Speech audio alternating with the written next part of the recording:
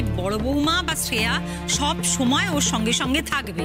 তাহলে তো হরিদার ঘরে থাকতে কোনো অসুবিধে নেই। তবে হ্যাঁ ওই ধূপকাঠির ব্যবসা ব্যবসা কিন্তু কিচ্ছু করা চলবে না। মা আমি কাজ বন্ধ করতে পারব না, মা। আমাকে কাজ করতেই হবে। আমাকে টাকা উপার্জন করতেই হবে। আমার বাড়িটা তো বন্ধক রয়েছে। টাকা ছাড়া আমি ওই বাড়িটা ছাড়াতে পারব না মা। কিন্তু তুমি তো এখনও অসুস্থ সর্বমঙ্গলা। তোমার তো শরীর এখনও সারেনি। আচ্ছা তুমি বলো এইসব করতে গিয়ে তোমার যদি হঠাৎ কিছু হয়ে যায় তখন তার দায় কে নেবে?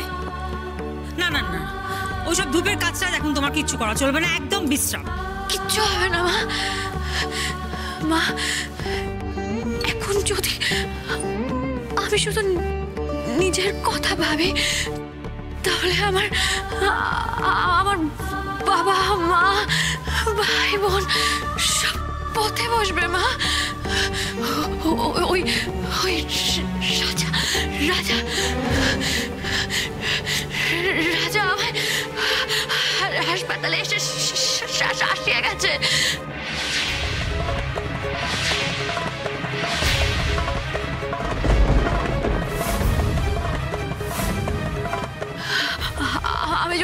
সময় মতো ওর টাকা ফেরত দিতে না পারি, তাহলে ও আমার বাড়ির লোকজনদের কার ধাক্কা দিয়ে ঘর থেকে বের করে দেবে বলছে মা? এসব অনেক দিন ধরে চলছে মা। এই অপমান ভয় দেখানো, আমি আর সহ্য করতে পারছি না মা। আমি এবারে এর থেকে মুক্তি চাই মা। আর টাকাই একমাত্র আমাকে আমাকে মুক্তি দিতে পারে, মা। তাই টাকা উপার্জন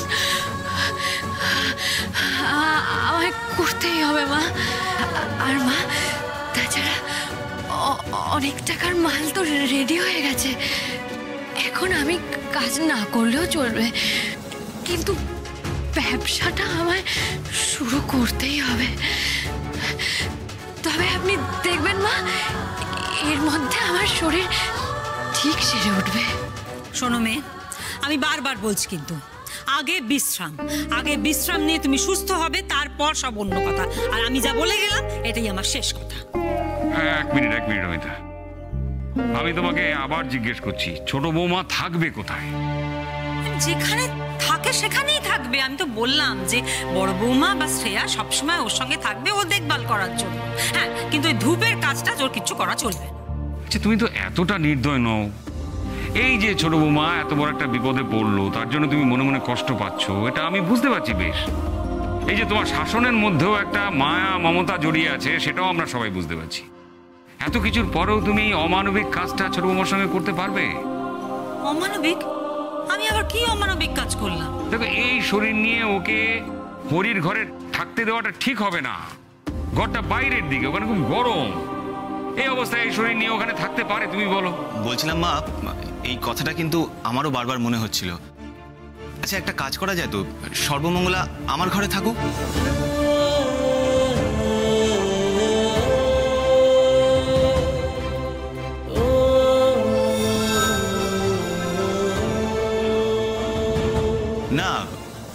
আমি অন্য ঘরে থাকব। ধরে নাও ড্রয়িং রুমে সোফার ওপর কোনো অসুবিধা হবে না আমার। কিংবা গেস্ট রুমে আমি শুয়ে পড়লাম।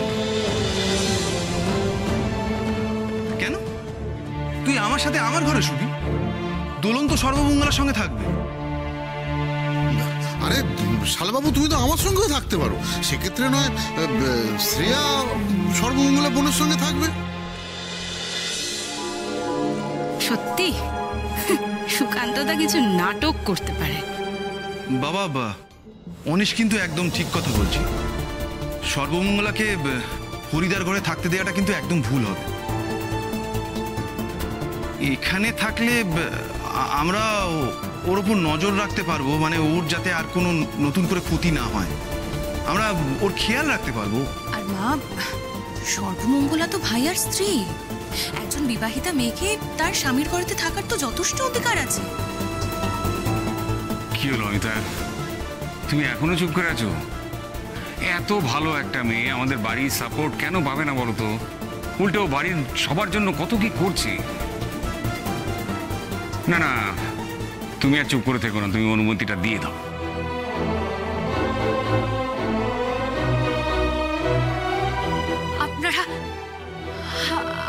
কেউ দয়া করে মাকে জোর করবেন না। মা মন থেকে যেটা মনে করবেন, মা সেটাই করুন। মা যদি মন থেকে আমায় ভালো না বাসেন, তবে সেই ভালোবাসা আমি পেতে চাই না। আবার কথা? আবার কথা বলেছি না বড়দের মাঝখানে কথা বলবে না? চুপ করে থাকতে পারে না একেবারে। ঠিক আছে। সবাই যখন বলছে, তখন আর হরিদার ঘরে থাকার দরকার নেই। তুমি অনিশের ঘরেই থাকো।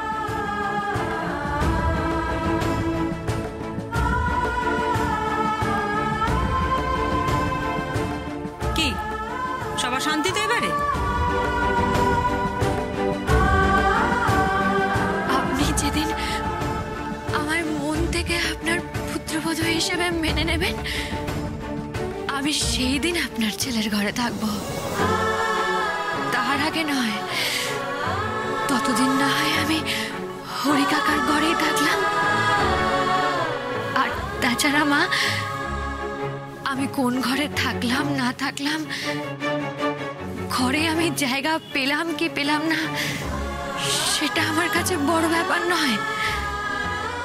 আমি আমি আপনার মনে জায়গা পেতে চাই।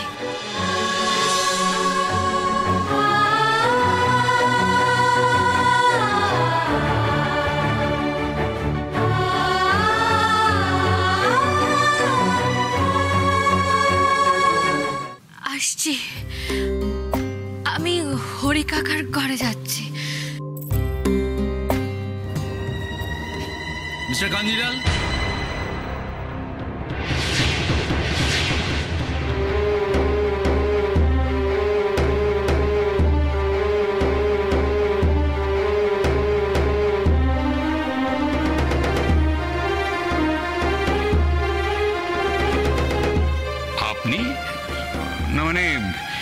এই কেসের তদন্ত তো অফিসার ঘোষাল করছিলেন। হ্যাঁ আমি ওনার সিনিয়র। অন্য একটা ডিউটিতে উনি আউট অফ স্টেশন আছেন। অফিসার বলুন। এনি প্রোগ্রেস দেখুন শিশির মধ্যে যা কেমিক্যাল ছিল ভিকটিমের স্টমাকে একই পয়জন পাওয়া গেছে।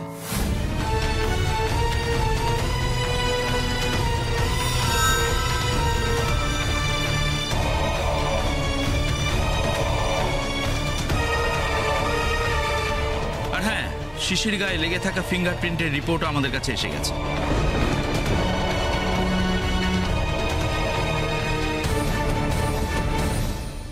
হে ভগবান আজ আমাকে অ্যারেস্ট হওয়া থেকে কেউ আটকাতে পারবে না। কেউ না? আমি এখন কি করব? এরকম সামান্য কারণে তুই একটা মেয়েকে মেরে ফেলতে চাইছিস? ছি ছি ছি ছি ছি ছি ছি how could you Yes, Dad.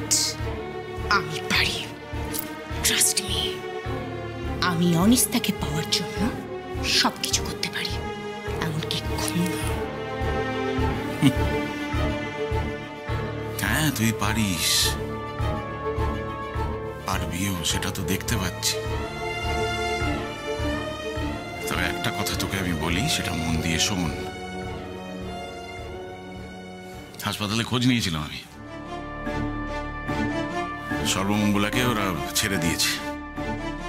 আর ওই যে বিশেষ শিশিতে যে রেসিডিউ বিষটা রয়ে গেছে না?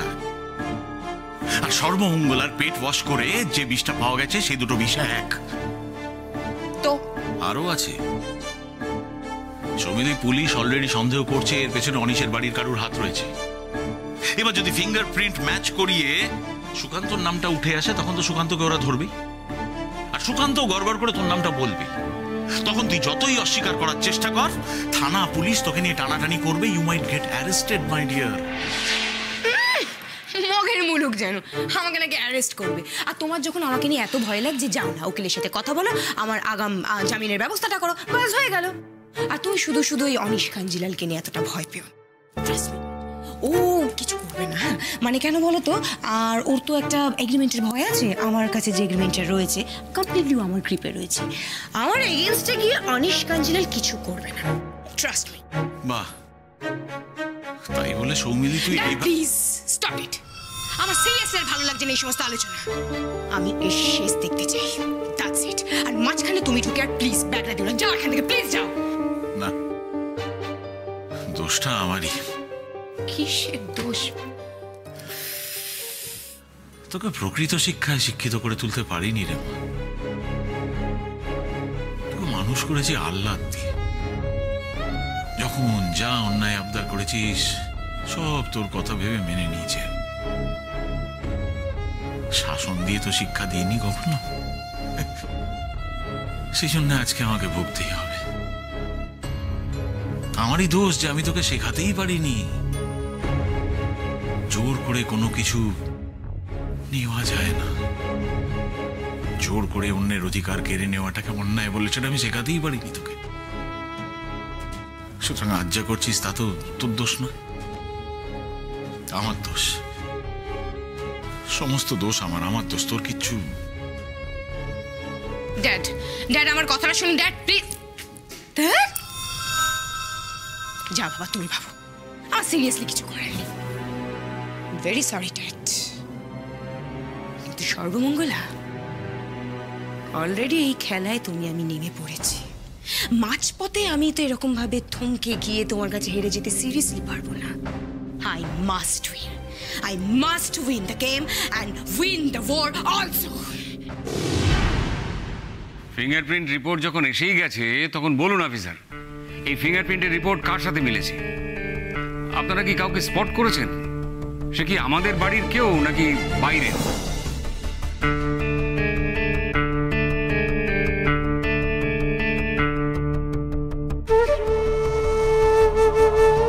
এক্ষুনি কি তাহলে আমি ধরা পড়ে যাব?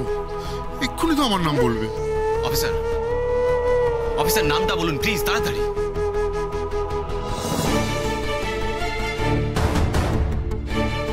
হ্যাঁ অফিসার।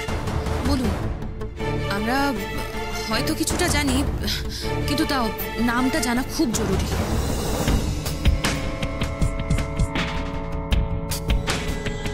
হ্যাঁ বলুন বলুন।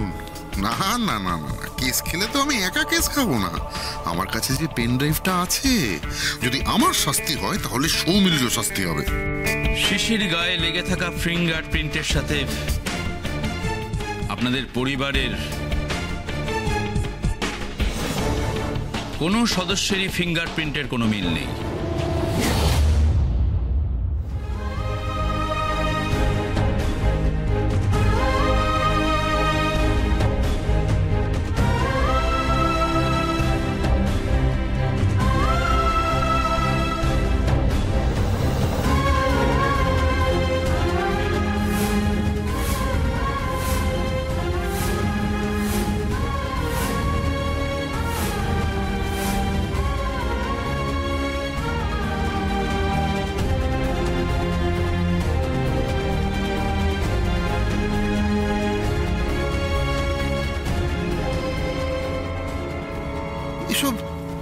বলছে, অফিসার, এটা কি করে সম্ভব? ওই শিশির গায়ে তো আমারই আঙুলের ছাপ থাকা উচিত। কারণ আমি তো নিজে এই হাত দিয়ে শিশিটা ধরেছিলাম। আমি তো হাতে গ্লাভসও পরিনি, বা শিশিটা রুমাল টুমাল দিয়েও ধরিনি, তাহলে? তাহলে এটা সম্ভব হলো কি করে? তাহলে কি বাইরের কারও হাতের ছাপ ছিল ওই শিশির গায়ে? মানে আপনারা কি কাউকে স্পট করতে পেরেছেন? আপনারা কি জানতে পেরেছেন কার হাতের ছাপ? মানে কে খাবারে বিষ মিশিয়েছিল না। শিশির ফিঙ্গারপ্রিন্টের সাথে ম্যাচ করে এমন কোনো ফিঙ্গারপ্রিন্ট আমাদের পুলিশের রেকর্ডে নেই।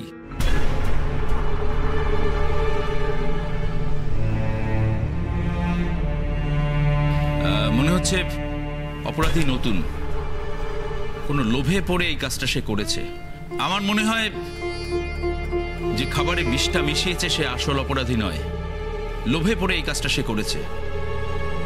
আমাদের ধারণা এর পেছনে অন্য কোনো মাথা কাজ করছে।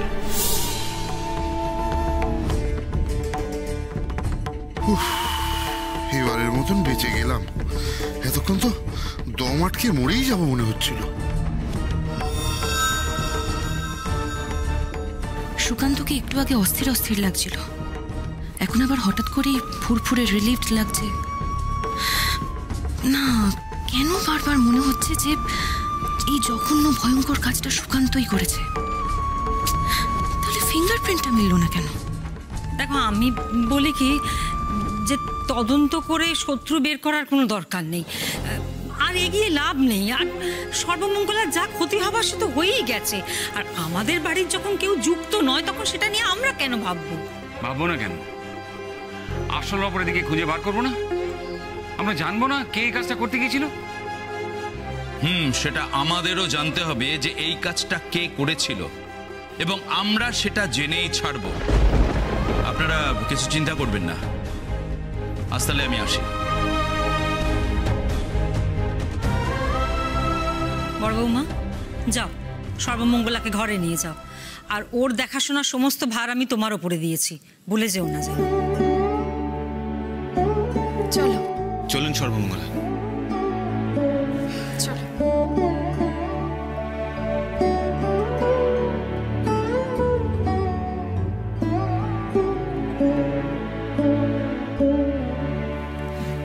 যাই বলো না কেন অমিতা?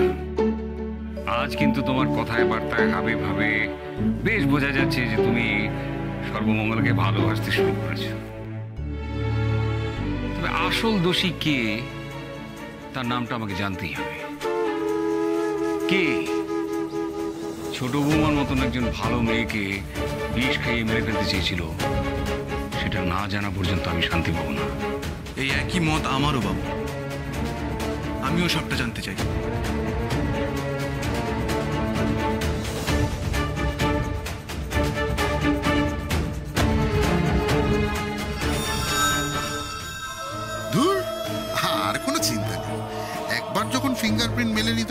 তখন মিলবে না। কিন্তু এই ফিঙ্গারপ্রিন্ট ভ্যানিশের ভেলকিটা দেখাল কে? কে? সর্বমঙ্গলা এসো। চলো। এবার থেকে কিন্তু খুব সাবধানে থাকতে হবে তোমাকে। দেখি এখানে চুপটি করে বসো তো দেখি। বসো, আস্তে। তুমি একদম চিন্তা করো না। এবার থেকে আমি নিজে হাতে তোমাকে যত্ন করে সুস্থ করে তুলবো। তুমি দেখো। আসলে তুমি যতদিন না সুস্থ হয়ে উঠছো, আমি কিছুতেই নিজেকে ক্ষমা করতে পারব না, কিছুতেই আমি শান্তি পাবো না সর্বমঙ্গলা। আর আমি তো রাত্রেবেলা তোমার সাথেই থাকব। মা বলে দিয়েছে, মনে আছে তো? তার দরকার হবে না বর্দি ভাই। আমি একদম ঠিক আছি। আমার কোনো অসুবিধা হবে না একা থাকতে। তুমি মাকে নিশ্চিন্ত থাকতে বলো। হ্যাঁ মাকে বললেই মা কত কথা শুনে। আমাদের ছোটখাটো কিছু হলে মা কত অস্থির হয়ে যায় জানেন? আর সেখানে আপনি তো মৃত্যুর মুখ থেকে ফিরে এসেছেন। কত বড় একটা ফাঁড়া কেটে গেল বলুন তো আপনার? সেটা ঠিক। তবে কি জানেন তো বাবু এই যে মা আমাকে নিয়ে এত ভাবছেন, এত চিন্তা করছেন আমার জন্য, এত উদ্বিগ্ন হচ্ছেন, এটা আমার বেশ ভালো লাগছে। মনে হচ্ছে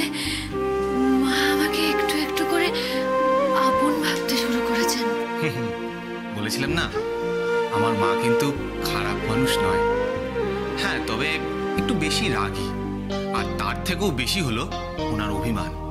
একবার যদি কোনো ব্যাপারে সেন্টিমেন্টাল হয়ে গেল, ব্যাস, তার অভিমান ভাঙানো কিন্তু সোজা কথা নয়। তবে আপনার মুখ থেকে রক্ত বেরোতে দেখে কিন্তু মা ভীষণ ঘাবড়ে গেছিল। মা মুখে কিছু বলেনি, তবে আমরা তো মাকে চিনি। হ্যাঁ একদম ঠিক কথা বলছো। আমিও না সর্বমঙ্গলার জন্য মায়ের চোখে জল দেখেছিলাম। ভগবান কে যে সর্বনেশে কাণ্ডটা ঘটালো? সুকান্ত দা। কে?